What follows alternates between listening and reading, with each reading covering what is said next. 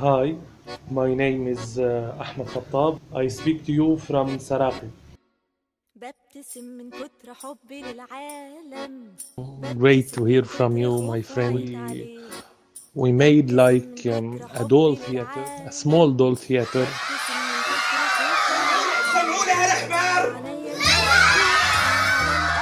In the story that we act, there is examples about problem alive, how we can face it, how we can uh, challenge this uh, hard life. Our goal is uh, draw a smile on their uh, tired faces, take them out of this life, and we hope we can do a small thing for them.